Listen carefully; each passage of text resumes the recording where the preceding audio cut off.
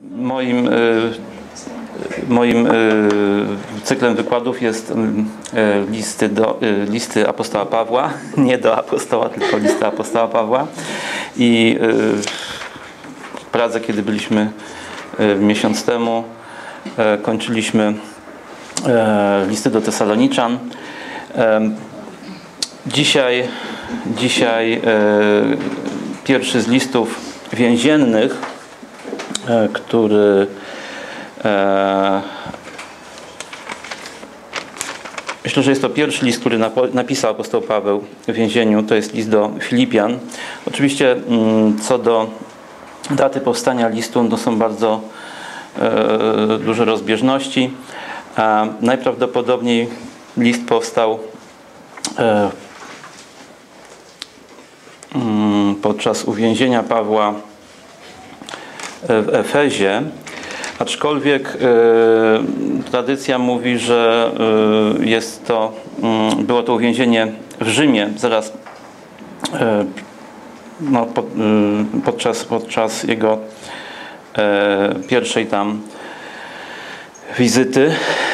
I ja myślę, że te kwestie dotyczące czasu i miejsca napisania tego listu nie są, e, nie są tak istotne. E, Kiedy mówiłem o listach do e, Tesaloniczan, dość dużo poświęciłem czasu, aby mm, powiedzieć o takim tle powstania tych listów. Myślę, że mm, możemy się naprawdę skupić na tym, że list jest autorstwa apostoła Pawła i tutaj nie ma żadnych wątpliwości. I na pewno został napisany więzieniu. Ewentualnie niektórzy twierdzą, że ten list składa się z kilku e, różnych fragmentów, które e, być może właśnie były pisane i w, i w Rzymie, i, i podczas e, pobytu w więzieniu w Efezie. Natomiast nie będziemy się na tym, na tym skupiać, na tym koncentrować. Chciałbym przybliżyć tą treść listu, aby, abyśmy zapamiętali takie najważniejsze kwestie, które są tutaj poruszone i zapamiętali e, no, pewne takie kluczowe, kluczowe wersety. E, może jeśli chodzi o adresatów, e, Filipianie. Filipianie to ludzie, którzy zamieszkiwali dawne miasto Filipi e, w Macedonii, w Macedonii Wschodniej. E, Miasto, które było pierwszym przystankiem apostoła Pawła w momencie, kiedy podczas mm, drugiej podróży y, misyjnej mm, no, przemierzał, przemierzał właśnie najpierw Azję Mniejszą i e, pierwsze miasto na kontynencie europejskim, którym, w którym się zatrzymał. E, dość dobrze opisana jest ta historia właśnie tego zatrzymania się w tym mieście e, w dziejach apostolskich e, w XVI rozdziale e, od 12 do 40 wersetu, kiedy to apostoł Paweł wraz z Sylasem spotykają Lidię, Lidię, która jest osobą e, z diaspory żydowskiej, która e, właśnie spotkana nad rzeką, e, gdzie zbierali się Żydzi w momencie, kiedy nie mieli e, takiego stałego miejsca na spotkania i tam modlili się. I Lidia była tą osobą, której e, jako jedna z pierwszych usłyszała Ewangelię i jako jedna z pierwszych e, po prostu nawróciła się. E, Więc było to, jest to opisane właśnie w e, Ewangelii Łukasza, znaczy w dziejach apostolskich, przepraszam, przez Łukasza e, w 16 rozdziale.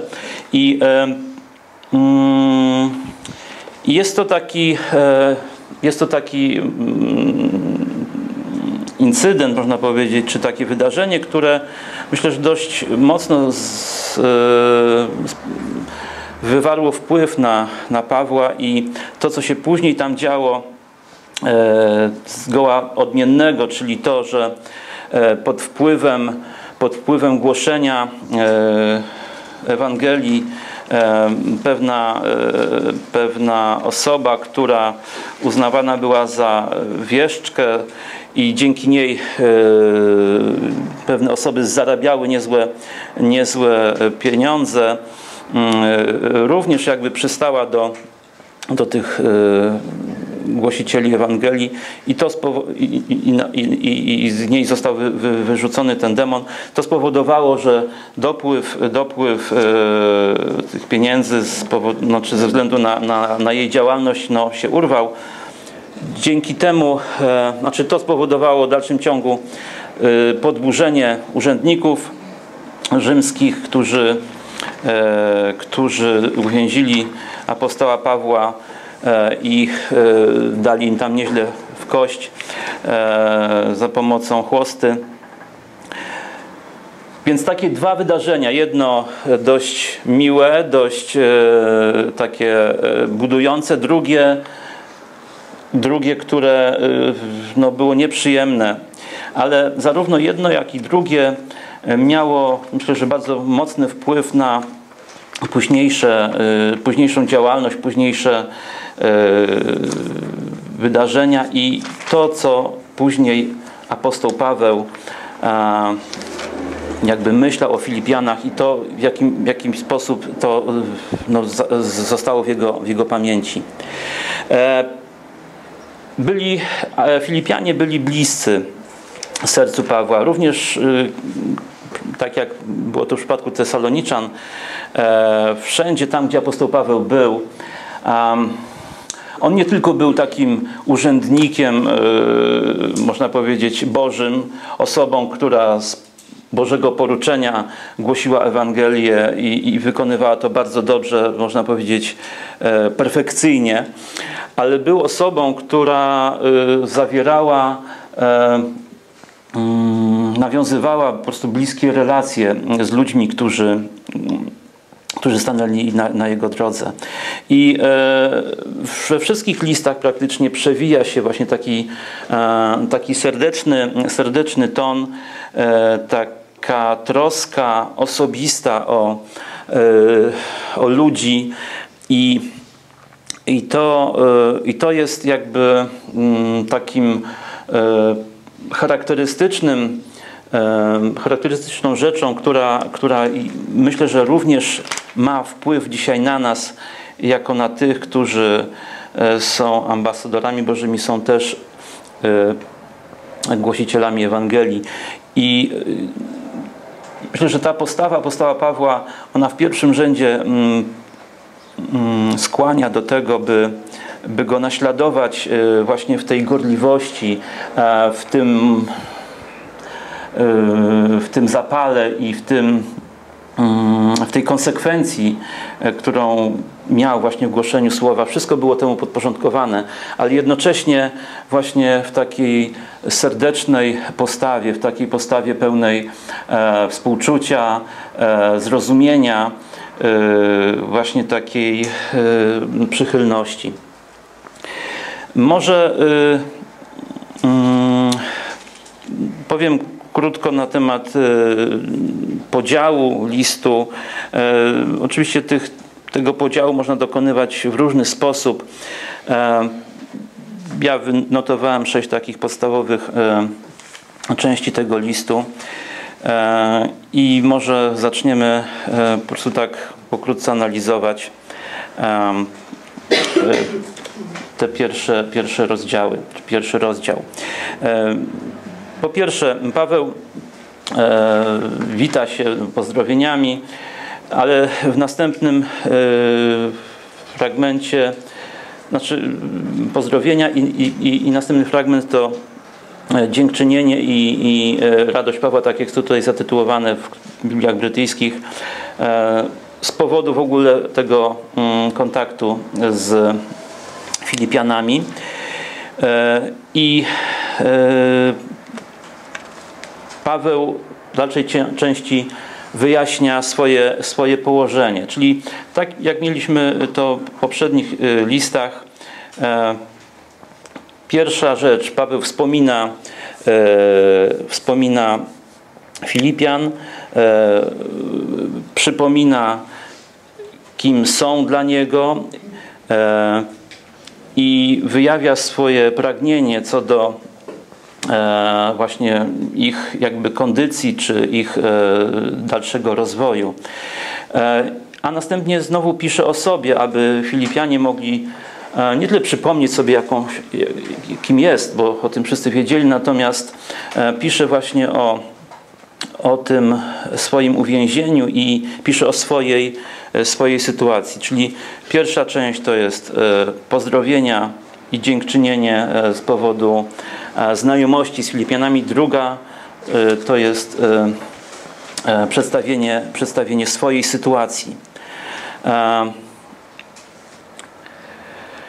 I przechodzi w pierwszym rozdziale przechodzi do, można powiedzieć, takiej kluczowej tezy mm,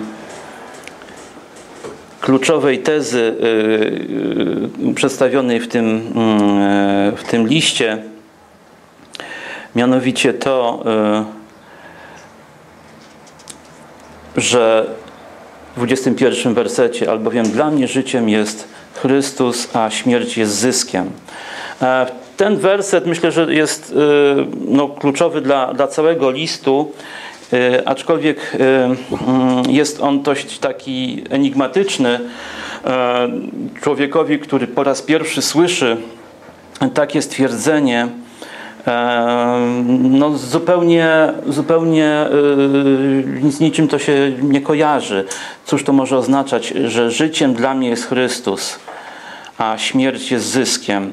Natomiast w momencie, kiedy zadalibyśmy jakiekolwiek pytanie dotyczące tego wersetu, to właśnie mielibyśmy okazję e, przekazać e, Ewangelię, mielibyśmy okazję powiedzieć e, o tym paradoksie, o tym odwróceniu jakby porządków w, w chrześcijaństwie, że tak naprawdę nie dążymy do do, do, do życia, do poprawienia sobie swojego życia, do, e, nie koncentrujemy się na swoim życiu, ale, ale koncentrujemy się na Chrystusie, koncentrujemy się e, na tym, który, który jest najważniejszy z powodu którego żyjemy i który nas powołuje.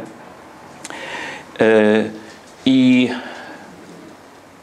przy okazji to życie jest nam, jest nam dane, czyli śmierć staje się momentem, staje się miejscem, w którym, w którym tak naprawdę zyskujemy to, co, co jest najważniejsze. Śmierć jest przejściem do, do życia e, wiecznego e, i e, tak naprawdę śmierć nie jest końcem, nie jest Y, czymś, przed czym uciekamy, nie jest czymś, co chcemy od siebie oddalić, czymś, o, o czym nie chcemy myśleć, ale śmierć jest po prostu e, mm, śmierć z Chrystusem jest, jest po prostu e, początkiem, początkiem wolności.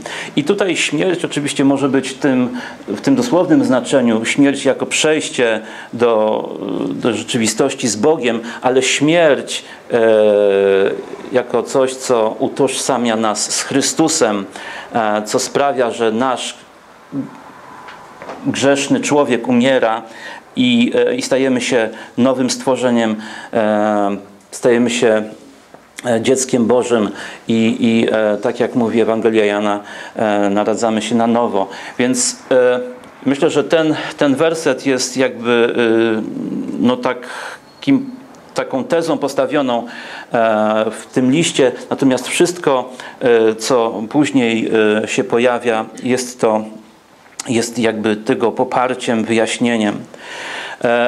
I na poparcie Y, Paweł przywołuje właśnie e, Chrystusa, czyli e, Jego ofiarną, e, ofiarne, ofiarne życie i, i śmierć na krzyżu, który, która, dzięki której po prostu my mamy dostęp do Boga.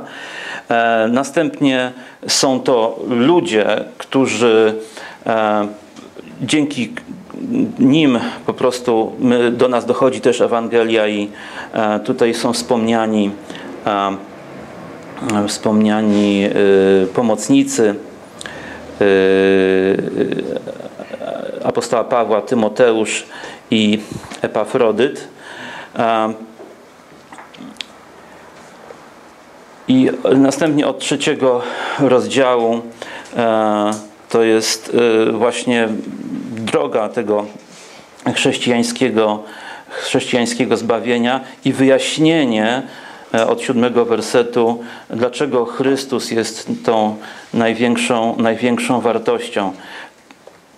Przyrównanie właśnie swojej również osoby e, e, jako no, tego przykładu, bo to, co możemy jakby co możemy jakby wiarygodnie przedstawić, to jest, to jest przykład swojego życia. I tutaj Paweł nie wskazuje na nikogo, e, kto no, jest dla niego jakimś właśnie autorytetem e, pod tym względem, ale, ale mówi po prostu o sobie. Patrzcie na mnie. E, miałem wszystko, miałem pozycję, miałem dostatnie życie, miałem autorytet, pochodzenie i tak dalej. Wszystko to uznałem za śmiecie wobec tej doniosłości poznania Jezusa Chrystusa. Y, kolejny, kolejny fragment to, mm, czy temat to y, mm, zachęta do, mm, do jedności i, e, i, i pokoju w Kościele. E, I właśnie w czwartym czwartym rozdziale mamy mowę o, o tej o radości, która jest, która jest źródłem, źródłem e, tej e, relacji z Bogiem. Bóg źródłem pokoju, pokoju i radości. E, ta piękna pieśń, którą śpiewaliśmy przed tym wykładem, myślę, że jest bardzo dobrą ilustracją, że w tym Bożym ramieniu mamy oparcie. I czwarty rozdział listu do Filipian właśnie o tym mówi. E, I w końcówce tego rozdziału e, czytamy o podziękowaniach i uznaniach Pawła za, za ofiarowane dary, e, ale również wyjaśnienie, że jakkolwiek te dary są bardzo, bardzo istotne, to Bóg e, nauczył Pawła właśnie żyć e, w różnych sytuacjach i e, no jest to taka naprawdę osobista tutaj, osobiste wyznanie co do właśnie sytuacji Pawła. Wszystko mogę w tym, który, który mnie wzmacnia w Chrystusie. I może ktoś, kto ofiarował jakiś cenny dar drugiej osobie, słysząc takie słowa, może y, pomyśleć sobie, no po co ja mu w ogóle, po co ja się z nim dzieliłem, skoro on jest taki zadowolony również w sytuacji, kiedy, kiedy nie ma, to, to, to, to, to w zasadzie nie ma żadnej, żadnej różnicy. Ale y, apostoł Paweł wyjaśnia wszak, że dobrze uczyniliście, e, uczyniliście uczestnicząc w mojej udręce. I e, właśnie mówi w ten sposób, że, że przez te dary staliście się e, znaczy utożsamiliście się ze mną, utożsamiliście się z moją, z moją pracą, z moim powołaniem i, i myślę, że ten właśnie fakt e, docenienia tych darów i docenienia tego zrozumienia e, wśród Filipian, tego, co robi, co robi apostoł Paweł.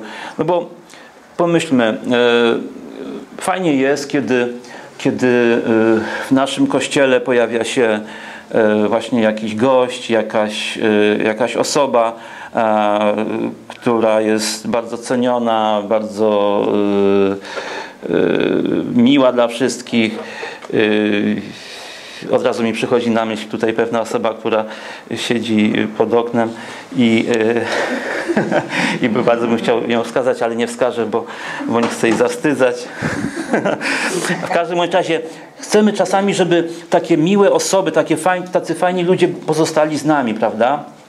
I chcemy ich mieć dla siebie, chcemy, by no po prostu byli, byli e, wzmacniali nasz, naszą społeczność, byli dla nas e, właśnie taką pomocą. I wyobraźmy sobie właśnie apostoła Pawła, który ma taki wielki autorytet i i, i wiedzę, i, i, i, spotkał Chrystusa, i no po prostu jest to ktoś nie, nie, nie, niezastąpiony. I on e, jest z nami jakiś czas, a potem po prostu wyrusza gdzieś dalej. No, to może jednak powiedzmy mu tak, że okej, okay, będziesz miał wszystko, zagwarantujemy ci e, tutaj wspaniałe życie, ale zostań z nami.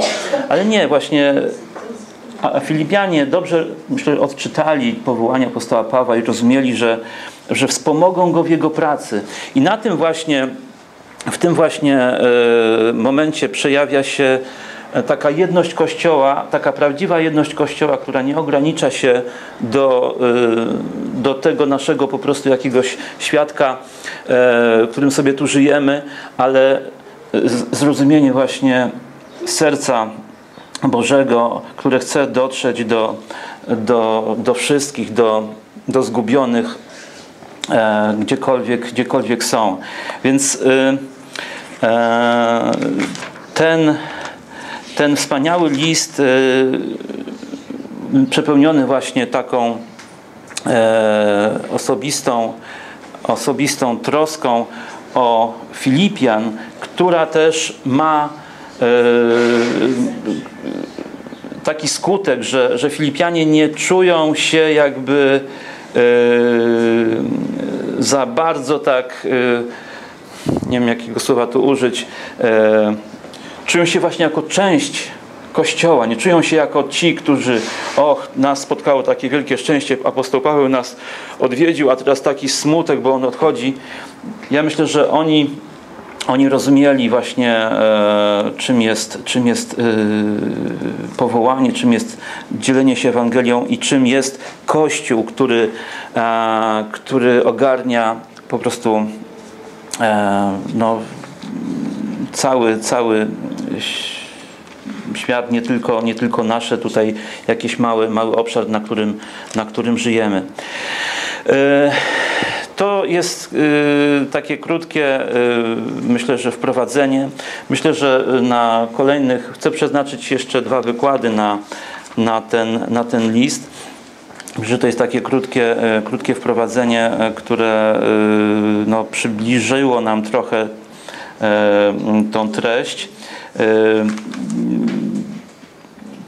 Myślę, że możemy, możemy e, nie wiem, tak bardziej szczegółowo bo nie wiem, jak właśnie dużo mamy czasu, czy ja mogę trochę jakby więcej poświęcić, no nie wiem, tak jeszcze krótko, krótko może w takim razie do pierwszego, do pierwszego rozdziału wrócimy.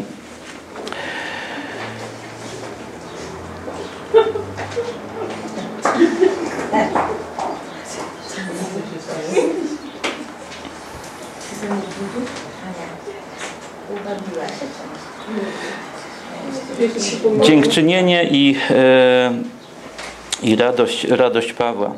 Dziękuję Bogu mojemu za każdym razem, ilekroć Was wspominam. Zawsze w każdej modlitwie mojej za wszystkich Was z radością się modląc. Za społecznością Waszą w Ewangelii od pierwszego dnia aż dotąd, mając tę pewność, że ten, który rozpoczął w Was dobre dzieło, będzie je też pełnił aż do dnia Chrystusa Jezusa.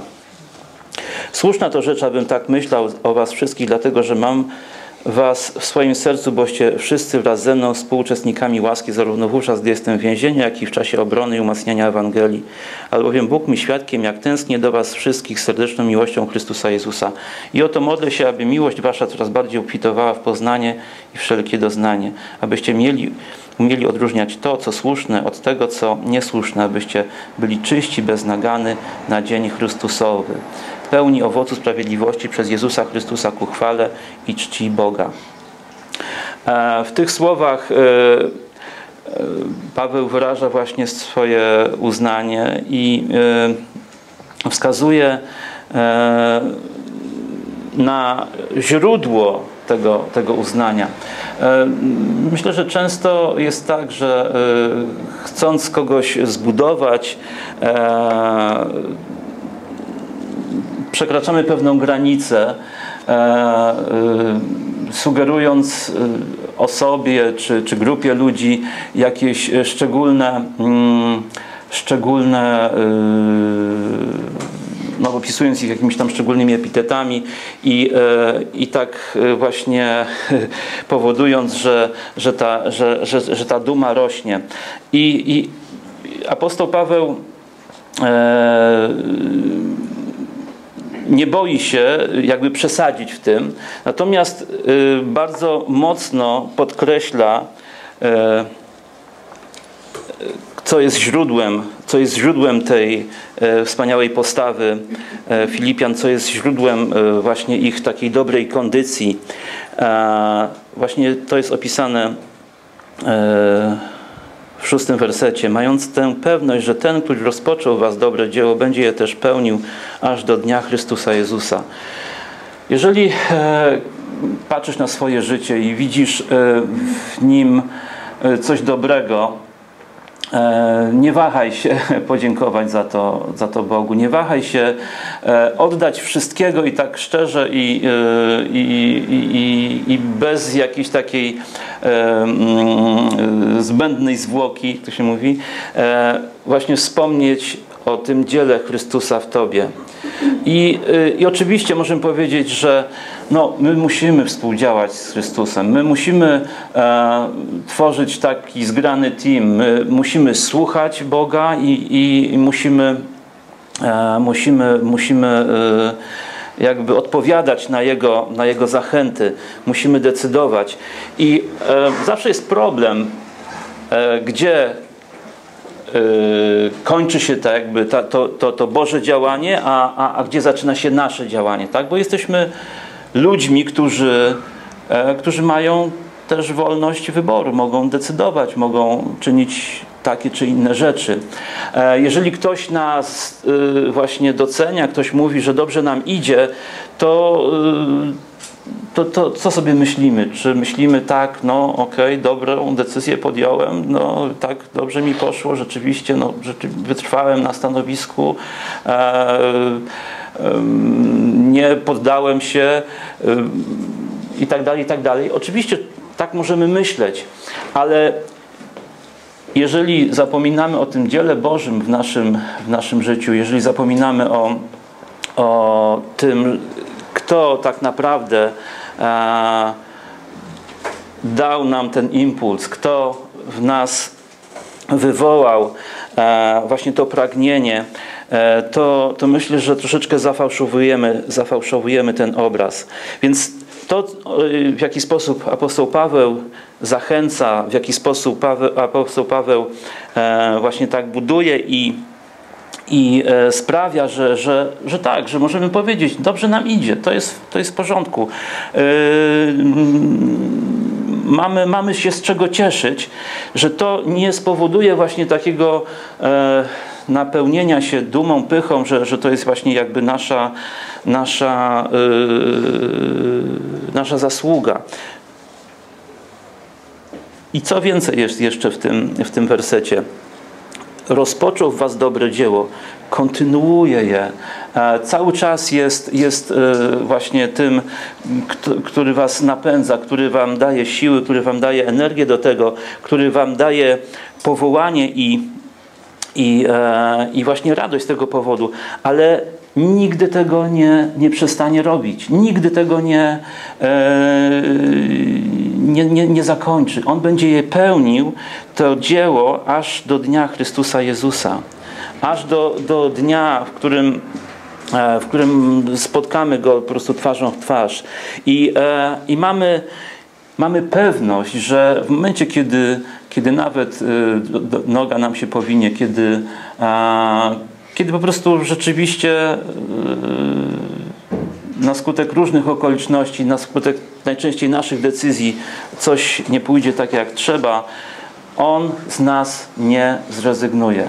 Jezus z nas nie zrezygnuje i będzie nam mm, towarzyszył i wspierał nas do, do ostatnich dni. Często to mamy, obserwując właśnie sukcesy jakichś sportowców, e, tak kibicujemy tam jakimś zawodnikom czy, czy drużynom, a w momencie, kiedy nastąpi seria jakichś e, porażek, a to patałachy, a to tam powiedzmy już e, wypalili się, a jakaś krytyka. Czy nie jest tak, że, że zapominamy o tym wszystkim dobrym, co, co, co, co, co nam dostarczyli ci, ci sportowcy, o tych emocjach, o, o tych wspaniałych nadziejach? E, Jezus nas nie zrezygnuje, Jezus nas nie, nie, e, nie opuści i nie sprawi, że, że, że pozostaniemy sami z naszym, z naszym problemem. I myślę, że to jest dobry, dobry, dobra myśl, żeby zakończyć ten dzisiejszy wykład. E, w dalszych e, zachęcam do słuchania czy do obecności na dalszych, na dalszych spotkaniach Szkoły Biblijnej i, e, i kontynuowania tego studiowania tego listu i pozostałych. Dziękuję.